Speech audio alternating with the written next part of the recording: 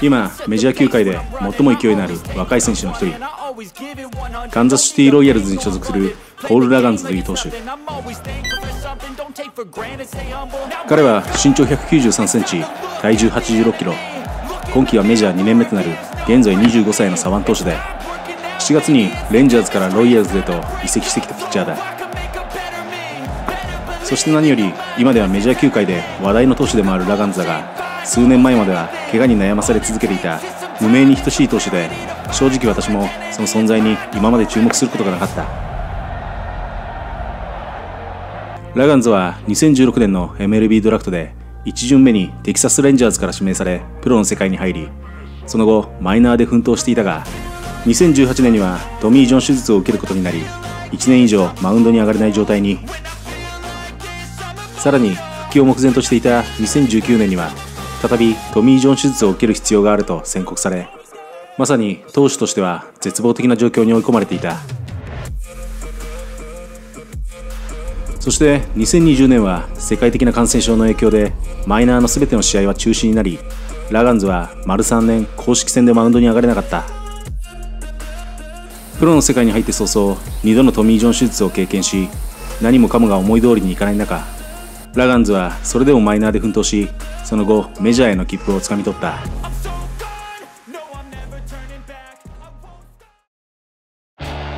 ラガンズは2022年の8月にメジャーデビューを果たしたが今シーズンはレンジャーズで17試合に登板し防御率は5.92と。今シーズンも6月までは決して注目されるような素晴らしい成績を残す投手ではなかった。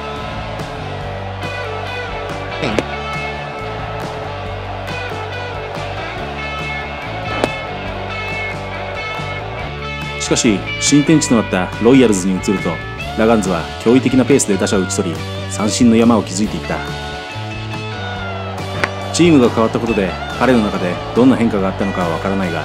そのピッチング内容成績は明らかに変わりまさにチームが変わったことが覚醒のきっかけと言ってもいいほどだった。新チームに定着した8月は6試合に先発登板し3勝1敗。防御率は1.72という別人かと思うほどの素晴らしい結果を残し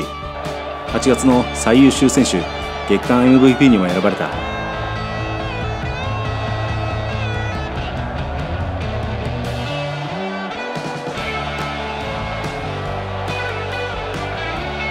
ラガンズはフォーシームを軸にチェンジアップやカーブカットボールやスライダーを投げているが投球の大半を占めるフォーシームは最速163キロに達し平均球速も今シーズンは155キロと昨年以上にスピードが増している。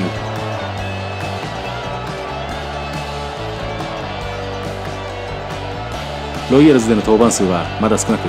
完全に覚醒したとは断言できない状況ではあるが日本時間9月5日の現時点でロイヤルズに移ってきてからの成績は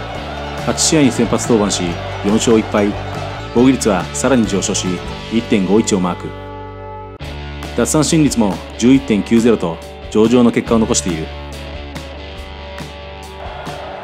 シーズン半ばに突如才能が開花したトミー・ジョン手術を2回経験している左腕投手ポール・ラガンズ。これから先彼の復活劇がさらにメジャー球界を賑わすことになるかもしれない。